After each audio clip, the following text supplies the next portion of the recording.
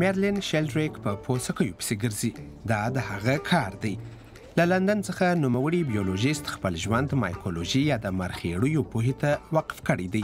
ځکه پوڅکی یوازې تر هغه نه محدودیږي چې په سترګو لیدل کیږي سدیز ا دا تندر یا د اس بوټ پوڅکۍ دي. هغه په زړه پورې تاریخ لري. انسانانو له هغه څخه د زرونو کلونو لپاره د سون د موادو په توګه ګټه اخیستله. د دې ترڅنګ پوڅکۍ په دارو درملو کې هم کارول کېږي. د معافیایي سیستم په قوي کېدو کې د اغېزې له امله کېدای شي هغه د مچیو د وژلو پر ضد د کامیابه مادې په توګه استعمال شي. مرخیړي د حیواناتو او نباتاتو په څیر ځان ته د ژوند کولو یوه لویه نړۍ لري. کله چې موږ د پوڅکیو په هکله فکر کوو، نو یوازې د هغو په هکله فکر کوو چې په ځمکه کې وده کوي. هغوی یوازې د تخم د خپرولو لپاره دي او په اصل کې میوې دي.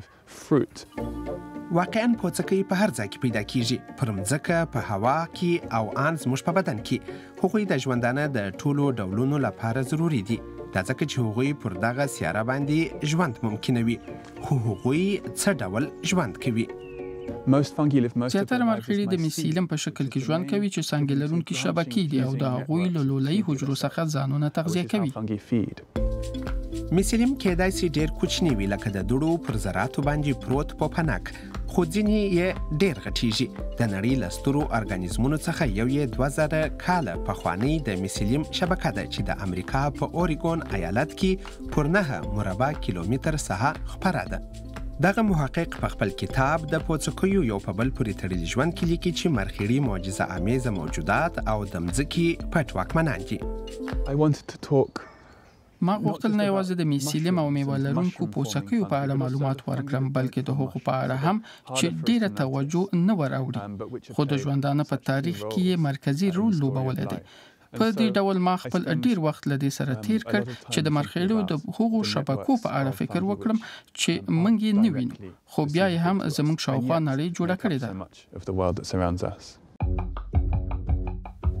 دغه محقق په یوه تجربه کې ثابتوي چې مرخیړي په هر ځای کې راشنه کیږي.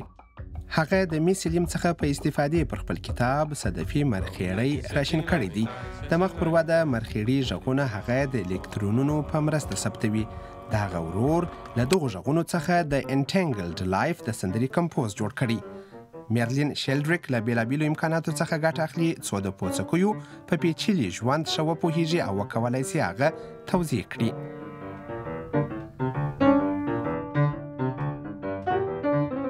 د مرخیړیو په ژوند پوهیدل ډیره سخته ده د هغوی چاپیریال مشکلات او امکانات زمون سره ډیر توپیر لري ما باید مختلفې استعاره او لارې پیدا کړې وای ترڅو مې په دې حق فکر کړی وای که زه یو مرخیړی وای نو څنګه به وای طبعا چې زه به هیڅ کله په دې um, پوه نشم خو په تجربه کولو ارزي دا زموږ له انساني خود محوري سره مرسته کوي کله چې هڅه وکړو ځان د یو ارګانیزم پر ځای وګڼو د هغه کتاب له زیات خرڅیدونکو کتابونو څخه یو دی میرلین شلډریک په ټوله نړۍ کې خلک د مرخیړیو زړه راکښونکي نړۍ ته هڅوي